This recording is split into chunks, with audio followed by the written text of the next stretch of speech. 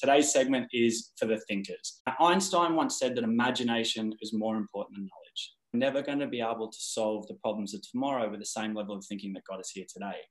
So we're very lucky today to be joined by a couple of fantastic guests. We've got Professor Derek Bland joining us. We've got mentor and artist Stephanie Beck, and then we've got mathematician genius Adam Spencer and journalist who's here with us as well. So we're going to put you three to our two minute challenge now, which is to create a, an imagination training program for kids at home. So you have two minutes.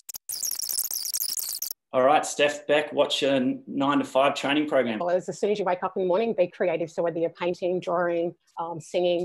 Find a favourite story, give it a completely new ending.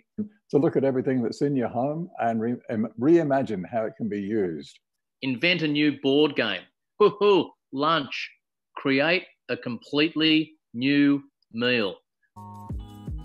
Part of imagining is giving ourselves a chance to rewrite stories that we actually can be authors of our own destiny if we are brave enough to pick up the pencil or the pen and move with it. Consistently every day believing in that vision, that new life that you want.